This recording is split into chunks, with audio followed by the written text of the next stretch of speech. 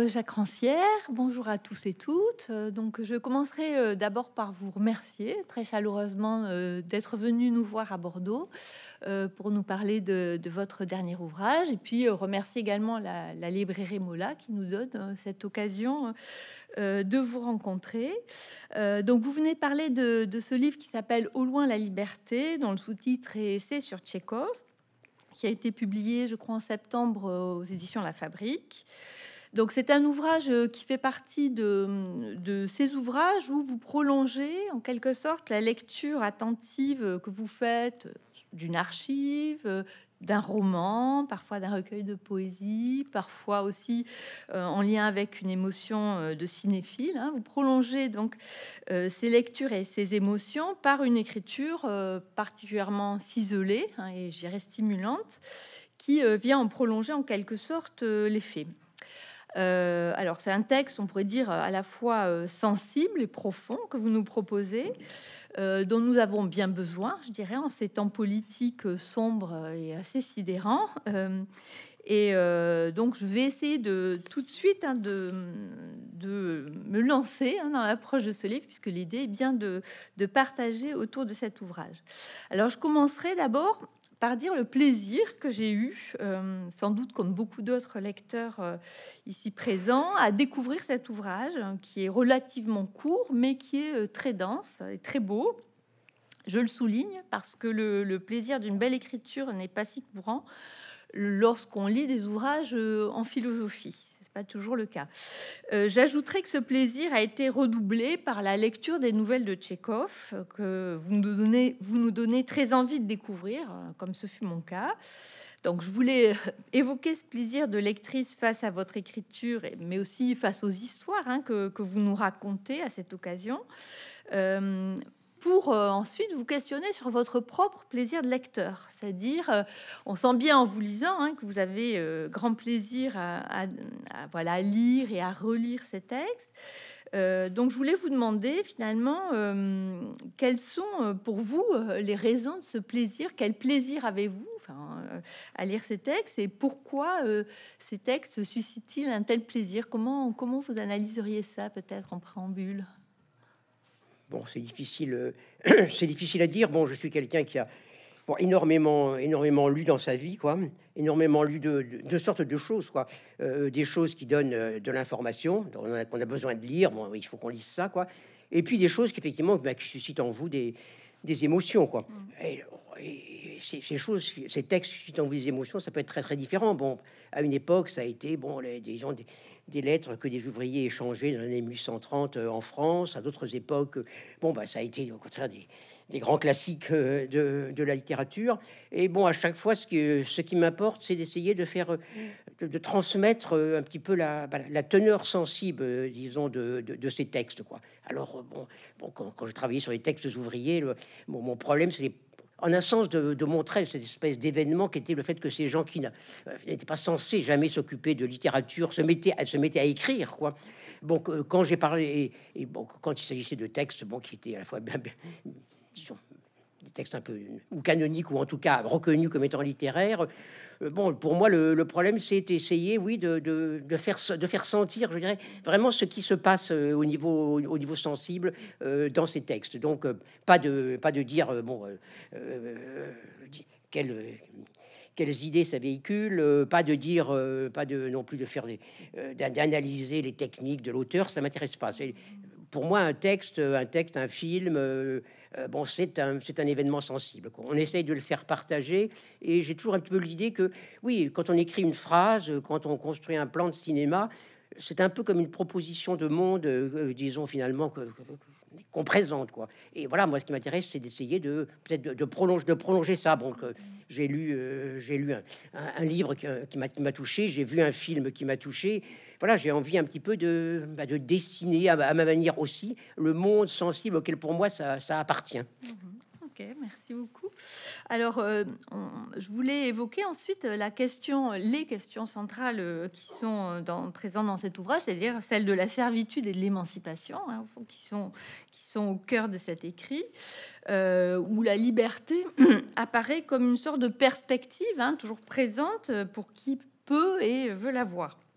Alors, effectivement, c'est ce que vous venez de dire. Hein, ce ne sont pas des questions que vous déployez de façon théorique ou désincarnée, en appliquant par exemple une grille de concepts philosophiques euh, sur le texte de Chekhov. Pas du tout.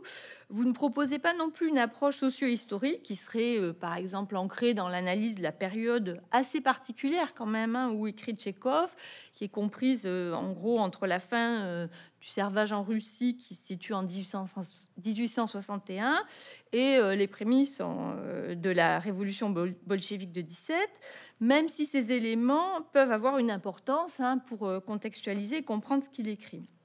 Donc il me semble, à travers votre lecture de Tchékov, vous cherchez plutôt, de ce que vous suggériez, à cerner la façon dont il fait sentir au lecteur d'une part tout le poids de la servitude, mais aussi l'intensité de l'appel de la liberté qui est vécu par ces personnages. Euh, alors, dans ces récits, cet appel surgit euh, dans des circonstances euh, assez inattendues ou improbables. Hein. Par exemple, sur le chemin de la déportation d'un vagabond en Sibérie, comme dans le récit de 1886 intitulé Rêve, sur lequel vous ouvrez votre livre. Donc c'est un moment de pause hein, qui, surgit, une sorte d'interruption par rapport au cours ordinaire du voyage, une certaine configuration temporelle, où apparaît, lorsque vous appelez à plusieurs reprises, une sorte de dédoublement du temps et du récit. Alors est-ce que vous, pourriez nous parler un petit peu de cette nouvelle, de, sa puissance d'évocation et nous dire peut-être pourquoi vous avez choisi d'ouvrir votre volume avec ce texte, ce texte-là? Oui, donc euh, Rêve, donc c'est bon, c'est une nouvelle qui est assez assez assez courte de 1886 et en un sens c'est une histoire qui est presque rien, presque rien. Bon, c'est euh, vraiment précisément la, routine. La routine, c'est des, gendarmes qui conduisent euh, qui conduisent bon, un vagabond qui dit ne pas savoir son nom, donc il bon, l'emmène au, chef-lieu, quoi, enfin au district, quoi, bah, bah, pour le remettre pour le remettre à la, justice. Et bon, oui, un instant, il se passe sur un instant rien d'autre, rien d'autre, euh, euh, sauf qu'ils essaient quand même de lui tirer un peu les verres du nez, de savoir un peu pourquoi, euh, pourquoi il dit qu'il sait pas son nom, d'où il sort. Bon, alors petit à petit, il raconte son histoire, on comprend que c'est en fait quelqu'un qui, pour des raisons que je vais pas détailler ici, bon, a été, a, été condamné au bagne par, comme complice comme complice d'un meurtre, bon, qui est un meurtre équivoque. Bon, est-ce que ça, est-ce que sa mère euh, s'est trompée en versant de l'arsenic au lieu du, au lieu du, au lieu du remède dans, le verre du maître. Euh, ça, on ne sait pas très bien. Toujours est-il que on comprend que c'est euh, que bon quelqu'un qui, est sorti du bagne et qui précisément ne, veut plus ne veut plus dire son nom parce que s'il dit son nom, si on l'identifie, on va le renvoyer au bagne. Comme c'est un jeune homme euh, qui a été élevé quand même euh, dans un, château, euh, même si même s'il était fils de serve, bon, il, aime bien les gens, les gens bien. Il n'a pas envie de retourner avec les bagnards, donc il, dit voilà. Donc en revanche, comme vagabond, je vais être envoyé en Sibérie. Bon, la Sibérie pour nous, ça évoque quelque chose vraiment pas spécialement réjouissant. Mais alors là, tout d'un coup, il se lance dans une espèce de grande déclaration où la Sibérie, ça devient quelque chose comme une terre de cocagne ou une sorte vraiment de, pays de pays d'utopie. Vraiment, c'est formidable. Il y a de la terre, c'est vaste, c'est immense, il y a de la terre partout, on peut avoir autant de terre qu'on veut, c'est fertile, et puis il y a des rivières formidables, bien protégées, on peut y pêcher toutes sortes de poissons. Là. Voilà, c'est véritablement euh, une espèce de percer la liberté tout à fait étonnante, disons, de quelqu'un que des gendarmes conduisent pour, être incarcéré. Quoi. Et bon, ce qui se passe dans ce, dans ce récit, à un moment donné, c'est bon, les gendarmes le calment en disant Mon pauvre vieux, de toute façon, euh, crevard comme tu es, tu n'arriveras jamais jusqu'en Sibérie mais quand même, les gendarmes se mettent un petit peu tout d'un coup à, bon, bah, à rêver. quoi. C'est-à-dire que c'est, maintenant, c'est plus lui qui rêve, c'est eux. Et donc, il y a cette, euh, cette, un moment, cette phrase que je cite à peu près de, de dit ils essayent de se représenter ce que Dieu seul peut se représenter, à savoir la distance effrayante qui les sépare du pays de la liberté. Donc tout d'un coup, en, quelque sorte, une affaire de, distance, qu'on peut dire euh, simplement géographique, devient une distance entre, deux mondes. Quoi. On vit dans un monde, quel monde de la servitude, quel monde où ben, on fait un peu tous les jours euh, son, boulot, puis ça recommence le lendemain. Et puis, euh, il y a quelque chose comme un pays qui est, loin, pas simplement qui est loin, qui est loin en termes en kilomètres, mais qui appartient comme un espèce d'autre ordre de grandeur. Quoi. Donc voilà, la liberté, elle apparaît toujours comme quelque chose qui est ailleurs, qui vient d'ailleurs. Donc voilà, c'est pas simplement quelque chose qui est loin, mais, géographiquement quoi. Et c'est bon ça, je, suis parti de là parce que c'est un petit peu le euh, une sorte de matrice en quelque sorte de l'univers narratif que Tchékov déploie dans, beaucoup de nouvelles, à savoir voilà, on a une vie ordinaire. La servitude, la servitude, c'est pas le fait qu'on est écrasé, qu'il y a des gens qui vous exploitent, qui vous battent, etc. C'est fini. En un sens, tout ça maintenant a été font comme intérioriser. La servitude, elle, est dans les têtes, elle est dans les têtes, et bon, elle est simplement dans le fait que ben, on recommence chaque jour ce qu'on a fait la veille, quoi. Et puis il y a ces, ces percées euh, de, de la liberté que, comme un ailleurs, quoi. Alors ça, c'est quelque chose effectivement qui qui structure euh, beaucoup, beaucoup de nouvelles, avec effectivement toujours euh, quelque chose comme un événement qui arrive. Quelquefois, c'est presque rien. Bon, c'est tout d'un coup, c'est le vent de la mer, c'est des gouttes de pluie, c'est un coup de soleil, et tout d'un coup, les personnages sont saisis. Et bon, il y a une rencontre qui arrive en même temps que ça. Et on a le sentiment qu'il y a une, bah, une, vie autre qui, une vie autre qui est possible. il faut bien penser que euh, voilà, il y a un thème qui est obsédant chez Tchékov, qui est bon la vie nouvelle. La vie nouvelle, c'est en même temps c'est un thème bien sûr politique de l'époque. Le premier ouvrage donc du Parti social-démocrate, donc euh, marxiste de Russie, euh, sur le journal s'appellera bon la vie nouvelle, le voyagisme. Oui, ce sera plus tard après, bien sûr, le, grand slogan stalinien avec Staline, la vie est devenue nouvelle, la vie est devenue belle. Et, voilà. Et ce qui est intéressant, c'est que Tchékov en quelque sorte ramène ce grand thème de la vie nouvelle à un niveau en quelque sorte vraiment à la fois sensible et, individuel. Qu'est-ce que ça veut dire euh, pour des gens que cet appel euh, de la vie nouvelle et comment est-ce qu'ils peuvent y répondre mhm. euh, donc, en, vous écoutant, je me disais peut-être qu'on pourrait faire un, peu un pont entre justement ce que vous nous dites là de ces moments où, il y a une sorte de dédoublement et ce sont des moments où, en quelque sorte, il apparaît en surimpression d'une vie un peu de misère, d'ennui, comme ça. Donc c'est troué, ces perspectives d'émancipation. Et donc, est-ce qu'on pourrait faire un pont entre ce que vous évoquez là et peut-être ce qu'on voyait déjà dans la nuit des prolétaires? Je pensais à ce moment où Goni, qui travaille, voilà, qui est cet ouvrier qui travaille, euh, ouvrier par cutter, et qui regarde par la fenêtre et qui voit euh, le paysage, l'horizon et euh, au fond, et avec cette idée que au sein même de son activité euh, pénible, voilà, répétitive, il y a quand même quelque chose qui s'ouvre. Vous parliez tout à l'heure euh, d'une trouée, hein, voilà. Est-ce que c'est du même ordre ou est-ce que finalement ce sont deux choses quand même assez différentes?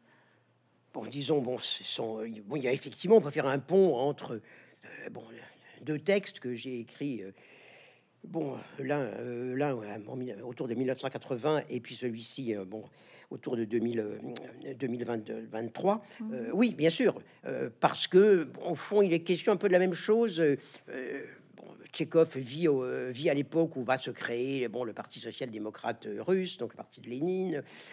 bon, Goni vit à un moment où vont se créer un petit peu les associations ouvrières et, tout, donc toute une agitation ouvrière. Et ce qui est intéressant dans les deux cas, c'est qu'au fond, il y a une espèce de, de, façon de, penser l'émancipation d'abord comme une affaire de, changement, de changement de son propre mode, de son propre mode de vie. Quoi. C'est-à-dire que pour, pour Goni, qu'est-ce qu'il essaye de faire? De transformer déjà sa journée de travail, journée de travail, bon, qui est censée être, être la répétition perpétuelle de la même chose. Bon, il, la transforme, il la, réécrit puisqu'il l'écrit pour un journal. Euh, euh, il, la réécrit comme justement euh, une espèce de d'expérience où à, chaque presque à chaque heure, on peut finalement quelque sorte tordre, tordre, tordre, tordre les choses, faire que l'expérience de la servitude, bon, le travail, deviennent une expérience de liberté précisément à travers des un petit peu des, des trouées comme ça. Alors bon, chez Tchékov, évidemment, c'est c'est quelque chose qui est euh, qui est assez assez différent. Bon, qui en un sens est plus pessimiste, quoi, mm. parce que malgré tout, Tchékov montre la plupart du temps effectivement des gens, voilà. Euh, qui éventuellement parlent de la vie nouvelle, disent oui, plus tard il y aura une vie nouvelle, mais et qui en même temps sont en quelque sorte mis en présence d'une possibilité dans, dans l'instant qui vient et, et qui généralement recule. Bon, il y a une nouvelle assez étonnante qui s'appelle euh, qui s'appelle Trois ans. Bon, Trois ans, c'est euh, le titre euh, lui-même dit quelque chose, quoi. À savoir, bon, voilà, il se passe rien à part qu'il se passe, à part qu'il y a du temps qui passe, quoi.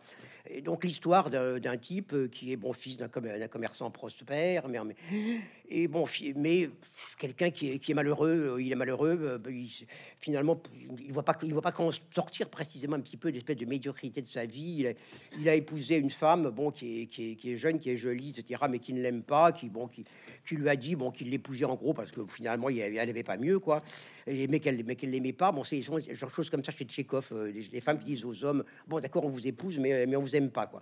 Alors il vit avec, il vit avec tout ça pendant des années, pendant des années, et puis il y a un jour, bon, le, père est, le père devient aveugle, donc il doit s'occuper lui-même de, l'affaire de la fabrique, s'en est jamais occupé. Bon, et puis il va s'occuper des affaires de la fabrique. Et alors on lui fait des comptes. J'ai compte, il est absolument ébahi parce que la, fabrique est très prospère, il est très riche, quoi. Il est très riche, donc tout va bien, sauf qu'il se dit, mais voilà, c'est quoi ma vie, quoi? Je vais être esclave toute ma vie, finalement, de, mes millions. Euh, c'est pas, c'est pas possible. Et puis à ce moment-là, il entend dans un jardin voisin euh, euh, deux, jeunes gens comme ça qui échangent des mots d'amour et des baisers. Oh, il se dit bon, c'est voilà, il faut tout quitter, il faut tout plaquer. voilà, alors il, il, Tchekhov le décrit comme ça, il est au milieu de la place, il se déboutonne, il respire, et il se dit voilà, oh là, je vais pouvoir mener une vie libre, une vie sainte. Et voilà, il y a, il y a juste un petit, un petit, un petit portillon à passer, quoi. Et, puis il le passe pas. Il le passe pas. Pourquoi? Parce que voilà, disons, il a été habitué. Il, a été habitué, euh, bon, à, la servitude. Il bouge pas, comme si ses membres étaient paralysés, et il bouge pas aussi parce que il a perdu le fond le euh, la faculté même de désirer quelque chose. Quoi. Mm. Donc la faculté, donc là, il y a cette espèce de trou, la liberté apparaît.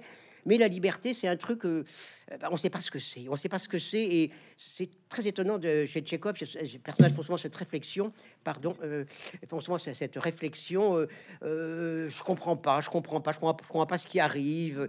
Bon, la servitude, on comprend ce qui se passe.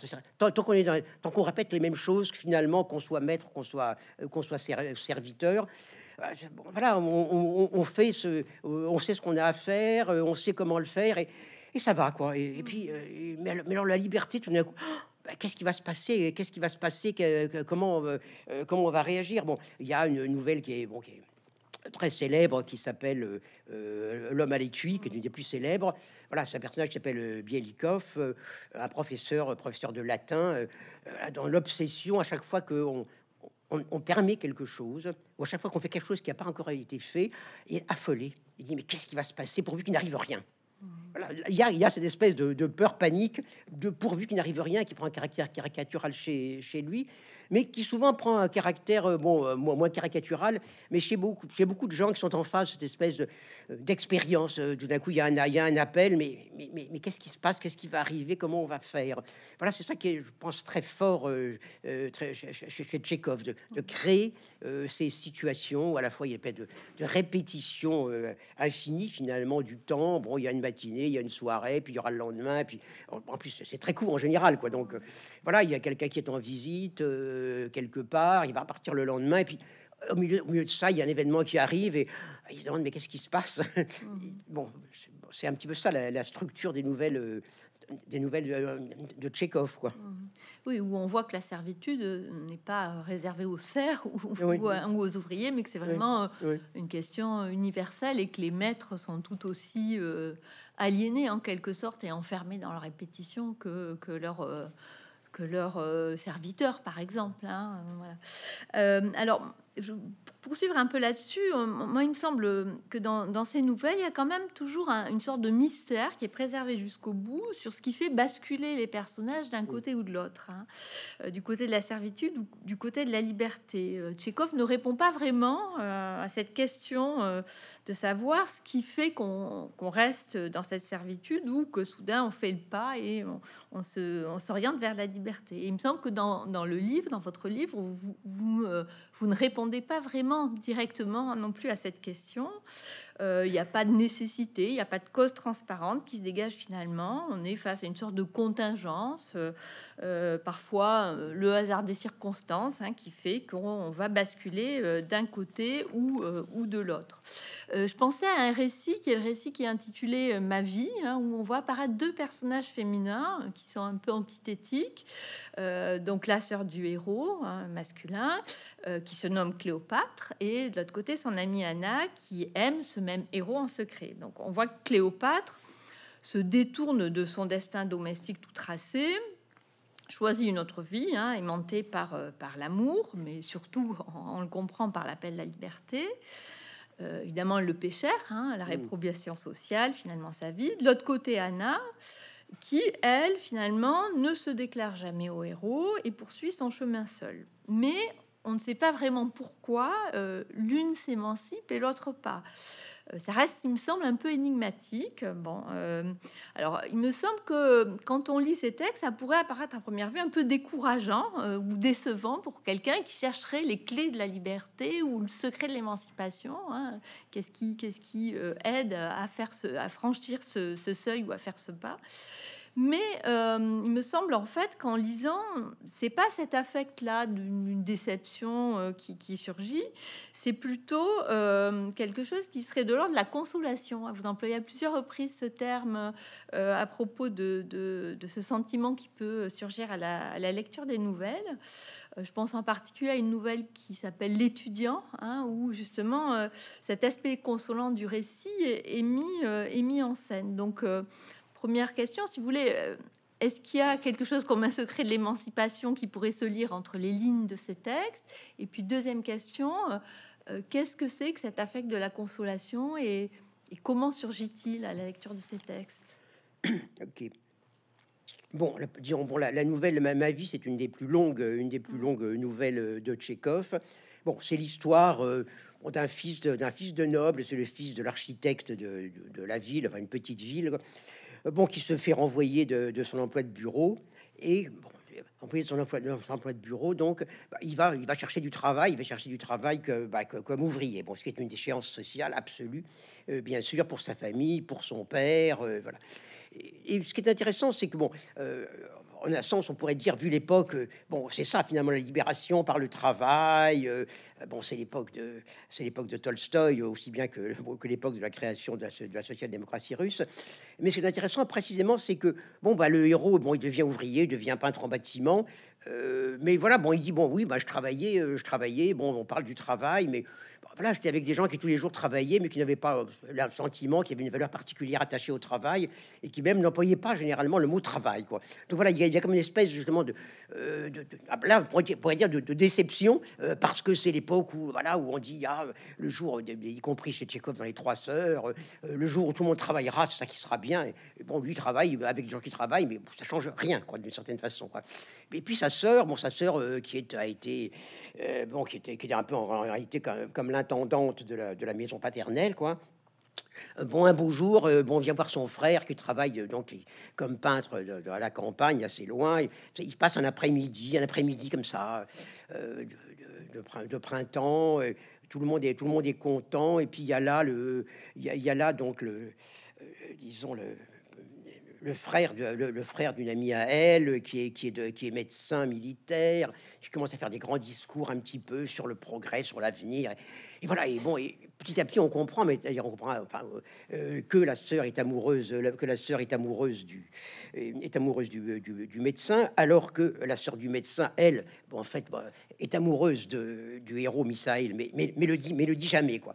Et, bon, il y en a une effectivement qui, franchit le pas, et on peut dire, au fond, il y a une même situation qui a été créée, à savoir une espèce, comme il y a souvent chez Tchékov, euh, comme une espèce de, voilà, de, coup de soleil sur, euh, sur, sur, un endroit qui fait que tout d'un coup on se sent bien, on se sent heureux et heureux. Puis il y, a des gens pour qui bah, c'est juste un passe-temps, quoi. Là, donc, là, euh, disons la fameuse Anna, bon, elle va repartir le soir, elle était contente parce qu'elle a vu celui qu'elle aime, et puis elle le reverra peut-être un, autre dimanche, mais, c'est tout, quoi. C'est un passe-temps, quoi. Et puis, et puis la malheureuse Cléopâtre, qui elles sont pas du tout malheureuses.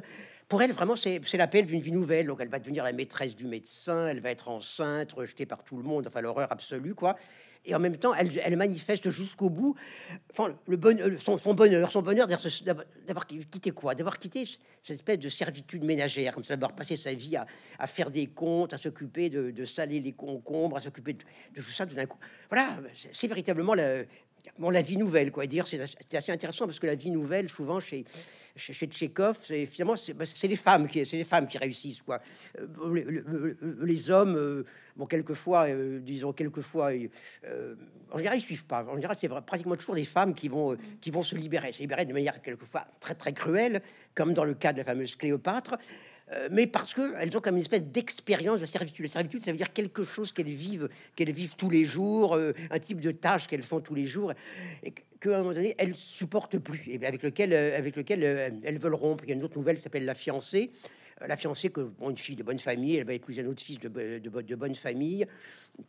Et puis juste avant, le, juste avant le, disons la, cérémonie, il y a son fiancé euh, qui lui fait visiter l'appartement qui destine à leur bonheur conjugal. Donc il visite l'appartement et donc il leur montre, il leur montre, il montre fièrement un peu tout ce qu'il va y avoir de bien dans l'appartement et notamment euh, une peinture, une peinture euh, qui représente une femme nue auprès d'un, disons d'un, vase à lance cassée. Et il lui dit ah, ça c'est une peinture de je sais plus c'est très, c'est vraiment très très très très très bien etc. Et voilà, et, ils ont, on peut dire, ils rentrent à la maison et le lendemain, ils ont, elle, s'en va. Alors comme, comme si c'était en quelque sorte euh, cette peinture-là, quoi. Mm. Elle, c'est pas c'est pas les concombres, c'est pas les salons de concombres, c'est cette peinture-là comme ça, cette image de la vie conjugale qu'elle va avoir, devant lequel, euh, devant lequel vraiment, elle, elle, décide que c'est plus possible et puis elle, et puis elle s'en va, quoi. Donc ça, c'est un petit peu pour le... Il n'y a, pas de raison, il n'y a pas de raison. Justement, ce qui est important chez Tchékov, c'est qu'il n'y a jamais de raison. Il n'y a jamais de raison, c'est-à-dire qu'il n'y a aucune... Euh, bon, Tchékov est le contemporain de, Zola quand même. Mais alors, déterminisme social, euh, psychologique, biologique, héréditaire, rien de tout ça. Mmh. Rien de tout ça. D'ailleurs, ces héros ont jamais de passé, euh, bah, pratiquement jamais de passé. On les prend à un moment donné. À un moment donné, alors, il y a une, routine et on peut la briser, et puis c'est tout. Donc il y a, oui, non, il y a aucune raison. Simplement, il y a, il y a un appel et il y en a une bah, qu'il a entendu euh, comme une espèce de, disons vraiment d'appel à une rupture radicale. L'autre comme euh, oui, bah c'est voilà, on a un petit un petit plaisir euh, éventuellement de temps en temps, et puis et puis c'est fini, puis la vie reste la même quoi. Bon, pour ce qui est de, la consolation, oui, c'est un petit peu lié, c'est-à-dire que voilà, Tchékov montre aux gens qui vivent une vie quoi, une, vie qui une vie où ils ont peur. Bon, il y a, il y a deux, peut dire, il y a deux grands affects en quelque sorte euh, qui accompagnent pour la routine dans laquelle les gens vivent. C'est la peur et la honte. Ils ont, bon, ils ont peur, ils ont peur, de, ils ont peur de changer, ils ont peur qu'il arrive quelque chose. Et puis en même temps, bah, ils ont honte, ils ont honte, ils ont honte d'avoir peur. Quoi. Donc, une espèce de, en quelque sorte de, de, de circulation, un petit peu de cercle des, des, affects qui les maintient dans la servitude. Quoi. Ils ont honte d'être euh, dans la servitude, et, mais, précisément parce qu'ils ont honte d'être dans la servitude, ils restent dans la servitude. Quoi. Et puis, euh, euh, bon, qu'est-ce que fait Tchékov? D'une certaine façon, il essaye de dire aux gens, oui, d'un côté, vous devriez avoir honte, quoi, mais en même temps, pas sur le mode ça agressif. regardez ce que vous êtes, vous êtes, des, vous êtes de nullité. non, non, non. En même temps, il a, bon, il regarde un peu leur honte avec un peu de, avec un peu de compassion, avec un peu aussi, avec un peu d'ironie, et d'une certaine façon pour dire oui, oui, vous, vivez une vie qui est honteuse, mais finalement, vous, êtes des gens qui pourriez vivre une vie qui ne soit pas honteuse. Quoi. Mmh, mmh. Et voilà, et, pour ça, il y a toujours comme une espèce de, mélange, en quelque sorte, où font les larmes de la honte euh, peuvent se transformer en larmes de la consolation. Alors, bon, vous faites appel à, référence à la nouvelle L'étudiant. Oui, l'étudiant, c'est donc une, Bon, c'est l'histoire, c'est encore une très courte nouvelle.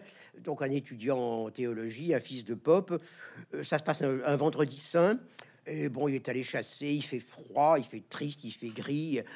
Il est plein de pensées tristes en se disant c'était comme ça déjà il y, a, il y a mille ans en Russie, ce sera encore comme ça dans mille ans. Et puis voilà, puis il rentre chez lui sur le chemin, il voit deux vieilles femmes auprès de euh, auprès d'un petit feu, elles se chauffent quoi.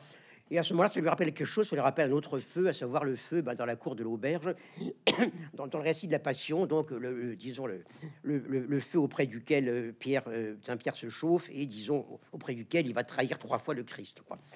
Et puis voilà, donc il va commencer à raconter cette histoire, au, disons à la, vieille et à sa fille, et elles se mettent à pleurer, elles se mettent à pleurer, et quand elles se mettent à pleurer, lui est envahi d'une joie extraordinaire, envahi d'une joie pas, pas une joie de sadique parce qu'elle pleure, mais parce que tout d'un coup, il a réussi à communiquer quelque chose. Voilà, cette histoire-là, les deux femmes la connaissent absolument par cœur, quoi. Il n'y a pas de problème, mais en la, redisant, tout d'un coup, il a procuré comme une nouvelle émotion. Donc, il est toujours possible finalement de faire que euh, des gens qui vivent une vie médiocre, des gens, euh, tout d'un coup, ressentent quelque chose comme la tristesse, la douleur de gens qui ont vécu il y a 2000 ans, de, 2000 ans auparavant. Donc, il y a quand même quelque chose comme une espèce de, de chaîne un petit peu affective, euh, de, capacité, de capacité de sympathiser au sens de partager des sentiments qui justement créent entre les humains un autre lien que bah, le lien de le lien de la servitude quoi. Mmh. Ça se termine ça se termine comme ça, ça. Euh, l'étudiant est, rempli est rempli de joie et on dit qu'il a il a le sentiment vraiment que la vie est une chose une chose absolument merveilleuse quoi. Mmh.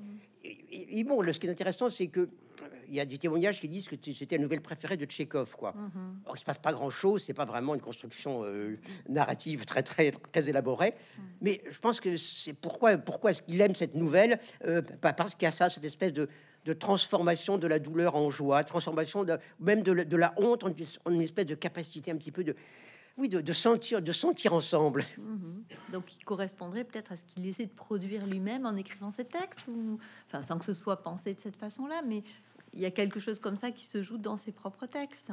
Oui, absolu- absolument. ouais. Il y a ces histoires de consolation reviennent un petit peu. Il y a ce très grand récit qui s'appelle euh, qui s'appelle la steppe, quoi, le Mm. steppe qui voilà où il y a une espèce de de, de- de- de terreur la, la journée. Il fait une chaleur et il fait une chaleur écrasante. euh, ce- bon, euh, ça on est comme euh, la, terre a l'air comme anéantie, comme comme asséchée, etc. Et, puis le soir arrive, tout d'un coup tout revit. Il y a une espèce de vie extraordinaire, extraordinaire dans bah, dans- dans la prairie, dans la prairie, dans les buissons, dans les marais, etc., des oiseaux qui chantent, des insectes qu'on entend. Et voilà, et, c'est comme si en quelque sorte, voilà, il y a, euh, c'était la nature, la, nature qui a la nature opprimée pendant la journée, bon, qui se réveillait, qui se réjouissait, qui se consolait. Et bon, il y a souvent, et souvent le, paysage joue ce rôle un petit peu de, de, consola, de consolateur chez, chez, chez Tchekhov. Euh, il y a, bon, il y a une nouvelle euh, très belle comme ça, enfin très terrible et très belle qui s'appelle euh, bon dans, la combe, quoi, une histoire d'une d'une d'une fille comme ça, une pauvre fille qui a été, euh, enfin fille pauvre et jolie qui a été mariée comme ça à un fils de commerçant. euh, Bon, le fils de commerçant est euh, en fait est convaincu de, de fabrication de fausses monnaies, donc envoyé au bagne. Et du coup, bon, ça, disons là, évidemment, elle devient un peu une paria et sa, et sa belle-sœur lui verse une, une, une bassine d'eau chaude sur son petit enfant euh, qui va mourir, qui va mourir le jour même à l'hôpital. Et elle sort de l'hôpital avec l'enfant mort dans ses bras. Elle est au bord d'une elle est au bord d'une rivière et, et- tout d'un coup, qu'est-ce que fait Tchékov? Il commence à une espèce de récit incroyable de ce qui se passe au bord de la rivière. Euh, Il y, a, il y a les grenouilles, il y a les grenouilles qui s'interpellent. Il y a un coucou qui, ch- qui cherche l'âge de quelqu'un, qui se trompe, qui recommence. Il y a le chant du butor, comme ça, qui est un chant impressionnant. Et, voilà, il y a tout, d'un- tout d'un coup, il y a comme une espèce de d'incroyable vie de la nature qui fonctionne comme une espèce de, de consolation pour cette mère comme ça bon un peu qui a quand même vient de voir d'avoir une, espèce de, choc absolument terrible quoi. Et oui je pense que dans ces nouvelles il y a y a ça je- toujours chez Tchekhov à savoir euh, oui toujours mais vous êtes vous ce que vous faites et ce que vous vivez est honteux mais mais mais mais, cons- mais cons- consolez-vous consolez-vous ne, ne prenez pas ça trop au sérieux. Bon voilà je veux dire que euh, pourquoi? Parce que bon il y, a il y a malgré tout la euh, disons la honte qu'est-ce qu'elle crée souvent? Bon bah elle crée bon elle crée le ressenti elle crée le ressentiment quoi. On, on voit bien on est, on est quand même dans des dans des dans des périodes historiques où on peut dire que voilà on vit un petit peu dans la médiocrité dans la peur dans la honte et, et la honte crée le ressentiment et le ressentiment euh, disons ben, crée tout ce que tout ce qu'on peut voir dans nos pays aujourd'hui quoi. Et voilà euh, T- euh, Tchekhov par rapport à ça dit d'une certaine façon c'est comme s'il disait que votre honte ne se change pas en ressentiment qu'elle ne se change pas en désespoir qu'elle ne se change pas en haine. Non qu'elle essaye de se il faut que vous essayiez de, de changer vous-même en quelque sorte votre tristesse en quelque chose comme le sentiment d'une participation à une humanité qui peut devenir une humanité une humanité meilleure quoi. Merci beaucoup. Donc euh, là, on, on rentre un petit peu quand même dans, dans- aussi dans la question de la poétique de Tchékov, hein, c'est-à-dire Oui. comment sont construits euh, euh, ces récits. Dans, dans- dans tout le dernier tiers de l'ouvrage, hein, vous détaillez, enfin vous proposez plusieurs pistes pour identifier comme ça des traits. Donc vous avez déjà un petit peu évoqué cette question, mais peut-être on peut revenir cette idée que ce sont des histoires sans début ni fin. hein. Donc on pourrait dire c'est peut-être lié au format de la nouvelle. Voilà, un format un peu court, même si certains récits sont très longs en réalité. Euh, mais c'est pas forcément concluant, puisqu'on sait qu'il y a des nouvelles qui peuvent avoir un côté comme ça très, très, Oui. très complet. Euh, donc euh, voilà, vous pourriez venir un petit peu sur la façon dont vous vous analysez cette façon de, de saisir un moment. hein? On ne sait pas tout de ce qui s'est passé avant pour les personnages, on ne sait pas forcément ce qu'il advient après. Euh, pourquoi cette façon de, de- de cibler un moment euh, en le coupant peut-être de ce qu'il y a avant et après Comment vous le, vous, vous le comprenez ça? Oui, bon, euh, disons, euh, Tchekhov est, est- est censé avoir dit comme ça une, une fois donc à, à un de, à un de ses disciples quand nous avons euh, fini, euh, nous avons fini un récit, il faudrait couper le début et la fin. Hmm. Parce que, dit-il, c'est là où nous mentons le plus, nous autres écrivains. Hmm. Alors, qu'est-ce que ça veut dire que le mensonge de l'écrivain? Le mensonge de l'écrivain, euh, euh, c'est pas c'est pas de raconter des choses qui, ont, qui sont jamais arrivées. Bon, non, c'est pas ça. Le mensonge de l'écrivain porte pas sur les sur les faits qu'il raconte. Il hmm. porte sur la manière dont il les enchaîne. Hmm. Et donc, donc l'écrivain ment euh, quand il a deux, deux façons de mentir. Quoi. la première façon de mentir, c'est de présenter justement les événements comme un enchaînement nécessaire de causes et d'effets. Quoi. Et disons, tout commencement est déjà quelque chose comme le commencement d'un enchaînement nécessaire de causes et d'effets. Mm. Et bon, le mensonge sur la fin, c'est que bon, la fin laisse supposer que bah, il, peut rien arriver d'autre. Mm. Par conséquent, que dire le champ du possible est épuisé. Quoi. Mm. Or, Tchekhov euh, bon, refuse, euh, refuse cette double, euh, disons, cette double en quelque sorte échappatoire, cette double excuse. Quoi il n'y a pas, il a pas, disons, un passé qui fait que bon, bah, le présent ne peut pas être autre chose. Et il n'y a pas un moment, de toute façon, bon, c'est fichu, on peut laisser, on peut tout laisser tomber, quoi. Mm. Euh, il y, a rien d'autre à faire. Euh, faut dire que euh, donc c'est, comme ça se présente comment ces récits. Bon, ben voilà, il prend ces personnages, bon, à un moment, à un moment donné, à un moment donné. Alors ils sont à la fois à un moment donné qui est un moment d'un temps d'un temps long et surtout bien sûr quand ce sont des longues nouvelles et quelquefois disons ah, voilà un, un tout petit un tout petit moment, ils sont, ils sont quelque part en visite ou en vacances pour 3 pour 3 4 pour 3 4 jours quoi. Et puis voilà, il y a justement un petit peu bon l'événement euh, l'événement, il pourrait il pourrait se, passer se passer quelque chose. Donc on a cette structure si vous voulez d'une d'un récit qui justement est un récit peut dire qui n'est jamais articulé euh, par cause, par cause et effet, une mmh. succession un peu, voilà, de journées, de matinées, euh, de matinées, et puis de, euh, de, soirée, ou bien des gens qui arrivent quelque part, des gens qui, des, gens qui en, qui en repartent. Ça, peut dire c'est le, cours normal euh, du temps qui se reproduit. Et puis il y a ces moments un petit peu tout d'un coup où ça pourrait ça pourrait basculer quoi. Voilà. Il y a ça. Ce qui est intéressant, il y a bon, on a comme ça deux, deux, nouvelles euh, qui sont encore des nouvelles intéressantes pour le rapport homme-femme quoi. L'une qui s'appelle Lueur et l'autre qui s'appelle bon qui est plus célèbre qui s'appelle La Dame au petit chien quoi. Mm.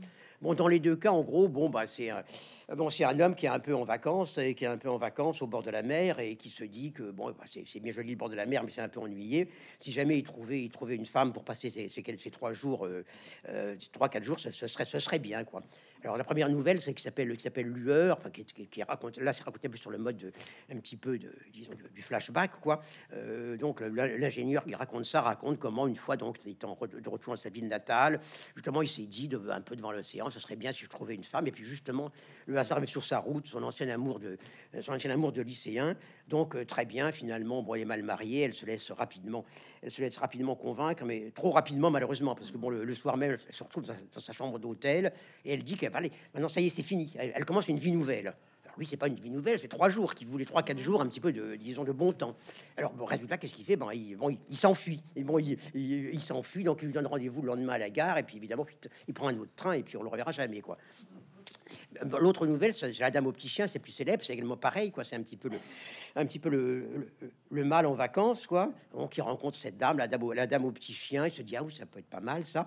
Et donc voilà, bon, c'est pareil, ça marche, ça marche, sauf que, euh, sauf que bon, euh, disons à la fois elle est honteuse, elle, elle est honteuse, euh, donc, mais puis en même temps, bon, ils, vont, ils vont se séparer. Il y a eu ces trois quatre jours, ils vont se séparer. ils, ils se reverront jamais, mais ça continue justement à trotter dans la tête, quoi. C'est-à-dire que toujours cette espèce de un peu de, coup de soleil ou de coucher de soleil, ça continue à trotter dans sa tête, quoi. Cette espèce d'ouverture. Et par conséquent, il cherche à, il à la revoir. Il cherche à la revoir. Donc, ils deviennent amants. Ils se voient, ils se voient régulièrement dans des chambres d'hôtel. C'est vraiment rien de passionnant, quoi. Mais mais, mais, mais il y, a, y a cette fin qui est assez, assez extraordinaire où ils se disent que, bah oui, c'est pas brillant, mais ils se disent que bientôt quelque chose arrivera, quelque chose arrivera, et alors il y aura une vie qui sera claire, une vie qui sera, une, vie qui sera belle. Et, bon, et, en même temps, bon, ils, se disent que oui, bon, la liberté peut-être, le, la liberté, la, vie nouvelle, la vie belle, la vie claire, elle est, elle est là, elle est, loin, elle est loin. C'est seulement le plus difficile qui commence, quoi. Et voilà, il y a cette espèce d'ouverture qui est intéressante parce que bon, c'est pas simplement, c'est pas simplement une ouverture, disons, sur comment une, histoire d'amour malheureuse peut devenir heureuse. Euh, c'est vraiment une, ouverture sur euh, comment disons, un, pas qu'on fait maintenant peut ouvrir, peut ouvrir sur un, voilà, sur, sur, un temps, sur un temps plus long. Quoi. Il y a, il y, a souvent cette idée chez Tchékov que enfin, toute cette opposition entre justement deux sortes d'individus. quoi. Mm. Il y a ceux qui disent bah, tout passe, quoi, tout passe. Et puis il y a, il y a le, fameux héros là, le, de, ma vie, là, le, noble devenu ouvrier, qui dit non, rien ne passe, tout fait trace, mm-hmm. tout fait trace, et donc tout pas qu'on fait aujourd'hui trace quelque chose comme la possibilité d'une vie, d'une vie à venir. Quoi. Donc voilà, je crois que c'est ça un petit peu cette espèce de, de rapport que fait Tchékov, qui est tout à fait étonnant entre voilà, bon, ça me dirait, bon, ça c'est la morale, c'est pas la, pas la forme du récit, mais en même temps, voilà, la, forme du récit se, se coule, se, coule en quelque sorte le, un petit peu là-dessus. En même temps, voilà, il y a aussi cette, disons, cette espèce de privilège de, oui, de, la forme, de la forme, de la forme courte, la forme courte. Bon, il y a aussi, euh, parce que justement, en un sens, c'est là où tout, tout, va se concentrer, quoi. Tout va se concentrer, tout, va, tout ça va se concentrer sous la forme véritablement de, la possibilité d'un changement dans, la texture même des expériences sensible qu'on vit, quoi.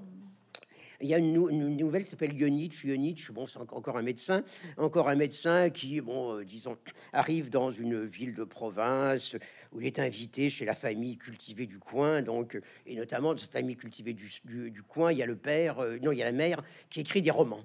Alors la mère écrit un roman, c'est l'histoire d'une jeune comtesse euh, qui en même temps, disons, s'occupe du peuple, qui crée des bibliothèques, qui crée des librairies, qui crée des, dispensaires pour, pour le peuple, qui en même temps devient amoureuse d'un peintre ambulant pour montrer qu'elle est sans préjugés.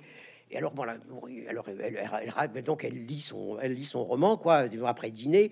Euh, bon, le, et le, narrateur euh, dit, dit, oui, bon, elle lisait des choses qui n'arrivent jamais dans la vie mais en même temps, c'était un récit qui était, qui était agréable et reposant. Quoi. Et puis, alors, bon, elle, a fini son, elle a fini son, euh, son, roman. Quoi. Puis tout d'un coup, on entend, euh, on entend une chanson, euh, un, un chœur qui chante un chant populaire dans, les, dans les environs. Quoi.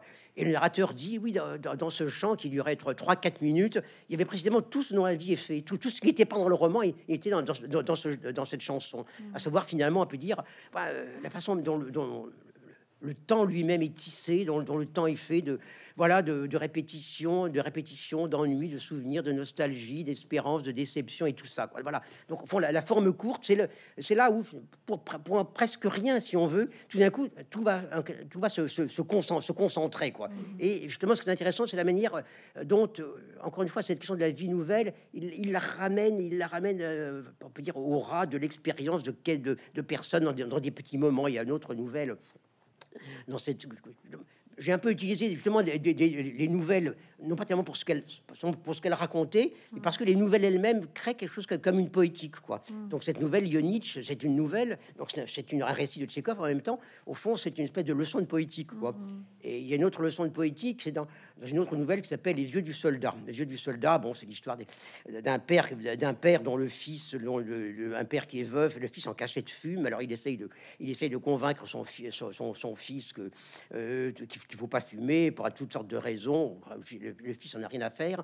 Euh, mais en revanche, bon, il, il aime bien les belles histoires. Donc le père va lui raconter une histoire, histoire d'un jardin merveilleux où il y a le euh, finalement qui malheureusement tombe, en, tombe, euh, disons malheureusement se trouve pris par les par les envahisseurs parce que le vieux roi est mort et, le jeune prince qui a trop fumé, mais soit tuberculeux, il peut plus peut plus défendre le royaume et donc là voilà, le, voilà, tout, tout, tout, est perdu quoi. mais ce qui est intéressant, c'est que l'histoire s'arrête pas là quoi. L'histoire s'arrête pas là parce que le père regarde les dessins qu'a fait le fils, quoi. Et lui dit, écoute, ça va pas, regarde, regarde ce que tu as fait. Tu as fait un dessin, un, soldat près d'une maison. le, soldat a la même taille que la maison. Et le fils dit, bah oui, mais si j'avais fait le soldat de la même taille que la maison, on verrait pas ses yeux.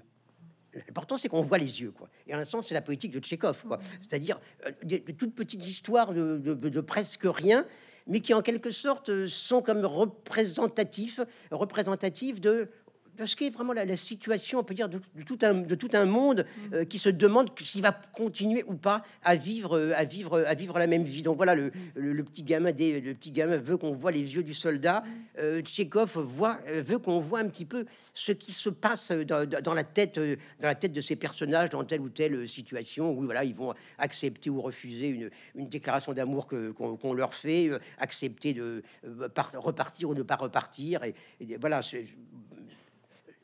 ce qui est intéressant, je crois que c'est ça. Bon, on parlait aussi pour mhm. l'étudiant, c'est pareil. Finalement, il y a plein, plein, de, plein de nouvelles qui sont en réalité en même temps euh, un peu comme des traités de politique, si on veut.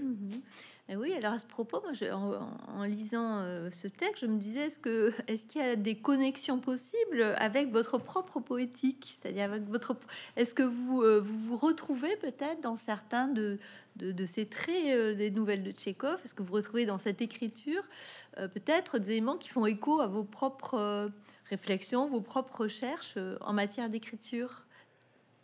Oui, c'est-à-dire que pense à la scène peut-être, enfin, cet effet un peu de concentration. Oui, effectivement, j'ai bon, euh, bon, ce que j'ai, ce que j'ai, comme j'ai tout à l'heure, ce que j'ai toujours essayé de, plutôt que de proposer, euh, de proposer un petit peu de, voilà, des, des, des, des, des argumentations, essayer de, de, de, de, faire en quelque sorte que la considération d'un moment sensible particulier bon, produise, euh, produise finalement un déplacement, un déplacement du, du regard. Parce que pour moi, bon, finalement, bon, on sait que théorie, ça veut dire regard, donc théorie, ça veut pas dire, euh, enfin, ça, ça, veut dire, c'est lié à voir, quoi. Et donc, voilà ce que j'ai toujours cherché, c'est plutôt à produire, euh, à produire, euh, bon, un, déplacement du regard, c'est-à-dire, bon, voilà, que je, travaillais à une époque donc sur l'émancipation ouvrière, voilà, ce qui m'apportait, c'était pas de faire des grandes, des grandes considérations sur la conscience ouvrière, mais mais tout d'un coup de, faire que les gens, euh, que, les lecteurs voient finalement, euh, bah, voient ces gens, voient, ces ouvriers avec, avec un autre regard, c'est-à-dire voient, voient leur expérience avec un autre, avec un autre regard. Tout d'un coup, soit mis comme en présence finalement d'une expérience sensible mm. et pas simplement d'une illustration, d'une idée générale mm. sur la condition ouvrière, la lutte ouvrière, quoi. Donc voilà, bon, et bon, essayé de faire ça aussi. Bon, lorsque j'ai écrit ce livre qui s'appelle Aesthésis, bon, qui est un livre hein, sur ce qu'on appelle la modernité esthétique mais que j'ai construit euh, autour de 14 scènes, c'est-à-dire 14 moments où, en gros, ce qu'on voit, c'est quelque chose qui n'était pas de l'art devient de l'art, ou quelque chose qui était de l'art euh, populaire, de l'art vulgaire, bon, devient, euh, de, devient, devient du, grand art. Donc, donc voilà, j'ai construit effectivement un, certain nombre de scènes sur un même principe, à savoir, bon, il y a, y, y a, un événement, un événement, une, performance, une performance artistique, ou même simplement, finalement, disons, voilà, bon, l'évocation même d'une toile, etc. Et puis il y a comme il y a, comme il y a un discours qui se construit autour, c'est-à-dire bon par exemple bon bah, euh, Bon, bah, il y a, y, a, y, a, le spectacle de, de, de, Loïc Fuller, donc la danseuse, euh, donc euh, qui danse, la fameuse danseuse, donc qui danse avec ses, avec ses voiles et avec en même temps aussi toute une série de, de, projections, de reflets de lumière. Voilà, elle fait son spectacle Folie Bergère. Il y a un spectateur privilégié qui est, qui est mal armé, quoi. Malarmé, en principe, quand j'étais jeune, c'était vraiment la, pure poésie, vraiment le, là, le, blanc souci, euh, rien, rien vraiment que la, littérature autotélique. Euh, mm. Et puis non, non, il, passe son temps dans, les théâtres, dans les musicals, euh, pour, chercher, pour chercher précisément les, moyens de changer l'écriture. Quoi. Alors donc, bon, la scène, c'est quoi? La scène, c'est bon, on voit à la fois, on voit, on peut dire sa performance à travers le, récit qu'il en fait pour un journal anglais, quoi, et en même temps à travers le récit qu'il en fait on, essaie de déborder, de, voir comment il se fait qu'à un moment donné, effectivement, ce, bon, un spectacle de musicaux, un spectacle de clowns, etc., ça devient quelque chose comme un modèle, euh, comme un modèle bon, de l'art. Bon, de même, si vous voulez, il y a une scène, autour de, autour de Chaplin, quoi. Chaplin, bon, c'est intéressant parce que, voilà, on dit toujours, oui, la modernité artistique, ça commence euh, avec, euh, oui, avec, avec, avec Malevich, ça commence avec Schoenberg. Mais si on regarde un peu les textes de l'époque, les journaux de l'époque, bah, on se rend compte que non, c'est, disons, euh, ce, qui, ce, qui, a un caractère de pivot à l'époque, c'est pas, euh, c'est pas euh, c'est pas Malevich, c'est pas que c'est pas Kandinsky, c'est pas c'est pas Duchamp non plus quoi. Mm. c'est Charlie Chaplin quoi, qui est comme une espèce de héros pour les artistes, un héros aussi pour les artistes soviétiques. Voilà, donc chacune de ces scènes, si vous voulez, j'essaye vraiment de, cerner un événement, le, rendu sensible d'un événement sensible, euh, pour dire, pour, dire aux gens, voilà, euh, la transformation du concept d'art, ça s'est pas fait à travers des, manifestes, des œuvres exemplaires, mais à travers une espèce de, modification de, la visibilité même ou de la compréhension même de ce que c'est que de l'art. Quoi.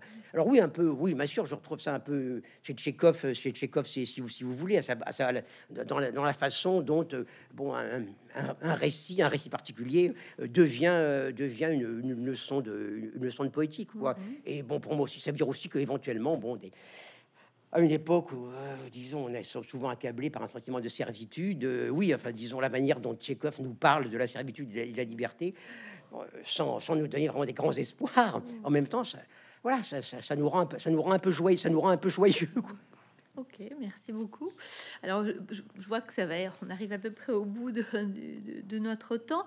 Je voulais finir quand même cet échange en vous posant euh, une question. Euh, vous disiez tout à l'heure que, que la, la, nouvelle préférée de Tchékov était l'étudiant. J'avais quand même envie de vous demander, vous, quelle est la nouvelle euh, de Tchékov que vous préférez et pourquoi, pourquoi cette nouvelle-là? Est-ce que vous auriez une nouvelle peut-être qui, qui aurait un statut particulier pour vous? C'est difficile de choisir. je réfléchis quand même euh, deux, demi, deux minutes, hein, malgré tout. C'est hum. bon. Bon, je, vais mentir. De toute façon, quand, on me demande de, sélectionner, de dire quel est le meilleur, je, qu'est-ce que je préfère, je, je, sais jamais, je sais, je sais jamais quoi. J'aime tout quoi. Euh, mais enfin bon, je vais quand même essayer peut-être de dire pourquoi j'aime euh, plus particulièrement l'une. un peu telle, telle ou telle, telle ou telle nouvelle, quoi. Oui, je pense que bon, il y a une nouvelle que j'aime beaucoup, dont on n'a pas parlé, euh, on n'a euh, pas parlé, euh, qui s'appelle Douchetchka. Mmh. ça veut dire qu'on ma, ma chérie, ma petite âme, ma mignonne, etc. Bon, et bon, c'est une nouvelle. bon, à l'instant, elle, elle, est minimale. c'est une, c'est une jeune, c'est une jeune femme qui est là, qui est là donc la fille, je crois, d'un assesseur de collège, donc de voilà, disons un noble, vous savez, dans, la hiérarchie des, grades, des grades, disons, des fonctionnaires euh, en Russie à l'époque, quoi. Donc voilà, c'est une jeune fille de bonne famille, euh, mais, qui finalement se passe son temps en quelque sorte euh, avec un problème à savoir qu'elle elle, elle a d'opinion sur rien, elle a d'opinion sur rien, quoi. Mais en même temps, elle est extraordinairement réceptive. Donc voilà, elle fait, plusieurs, rencontres. Alors d'abord, elle rencontre un entrepreneur de théâtre dont elle tombe, amoureuse. Euh, et, voilà, elle, se met tout d'un coup à être extraordinairement volubile sur le théâtre, à expliquer aux gens c'est tellement difficile le théâtre. Voilà, on donne des spectacles vraiment bien. Et qu'est-ce qui se passe? Les gens comprennent pas. On donne des œuvres élevées. Ils vont écouter, ils vont regarder des clowns, c'est lamentable, et ainsi de suite. Bon, euh, malheureusement, le directeur du théâtre, enfin le, Bon, il meurt. Donc après ça, qu'est-ce qu'elle va, elle elle va rencontrer un, bon, je crois, un entrepreneur en bois, je crois, etc. Donc euh, euh, voilà. Alors il n'y aura plus que le bois qui sera important, etc. les coûts, les coûts, le problème. Et puis, et puis, et puis, je crois que lui-même, il va mourir, etc. Elle va, elle elle, va rencontrer, je crois que je sais pas, c'est un pharmacien, mais à ce moment-là, elle va, va plus parler que, santé, quoi. Et puis elle se retrouve à un moment donné avec un, avec un, gamin sur un gamin sur les, sur les bras, quoi, que lui a laissé. Je pense que c'est le pharmacien, peut-être, je sais plus très bien, avec un gamin pour, sur, euh, sur les bras.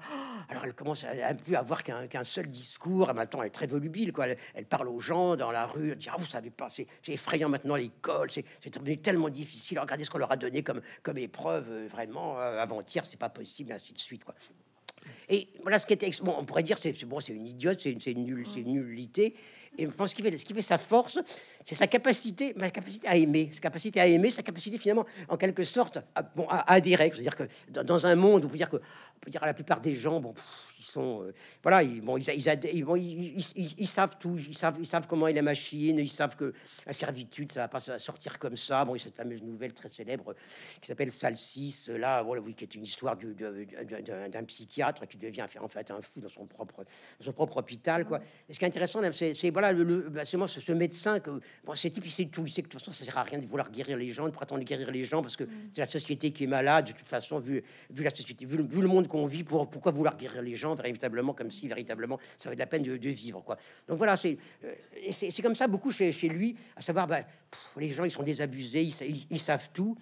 Et un peu comme, un peu comme nous aujourd'hui, quoi. On, sait tout sur la domination, on sait tout sur, euh, on sait tout sur tout, quoi. Et on sait tout sur comment, comment on se fait avoir. Et puis finalement, bon, ben, ça, ça change rien qu'on sache tout. Et voilà, les héros de Jacob, c'est beaucoup, enfin les héros, les anti-héros, souvent c'est les gens qui savent tout. Ben oui, d'accord, je sais que je suis minable, je sais que je suis, euh, je sais que la vie que je, que je mène est honteuse, que c'est de l'acheter, mais écoutez, euh, bon, comment, comment changer? Peut-être que dans 200 ans, ça, ça changera. Bon, en attendant, malgré tout, euh, j'ai, bon, j'ai l'avantage sur les autres de savoir parler français, d'avoir fait des études. Et voilà, c'est ce qu'il dit à sa maîtresse, mmh. qui voudrait qu'il change de vie. Dans le monde, Douchetska, par rapport à ça, non, c'est, voilà, euh, disons, elle, tient en quelque sorte sur la volonté, en quelque sorte, bah, de, de, s'ouvrir, de s'ouvrir au monde à travers tous ces amours, tous ces amours successifs. Et donc, et donc à, la, à, la, fin, finalement, voilà, elle, est avec cet enfant qui lui est rien. C'est, pas son fils, c'est pas son, c'est rien, c'est rien à voir avec lui. Et en même temps, cet enfant qui lui absolument rien, et, toute, et toute sa vie, tout, l'objet en quelque sorte, et de ses soins et de, et, de ses discours. Quoi. Voilà, donc peut-être, euh, voilà, j'ai choisi un peu au hasard, mais Merci beaucoup, merci beaucoup, Jacques Rancière. Je crois qu'on peut vous applaudir. Merci beaucoup.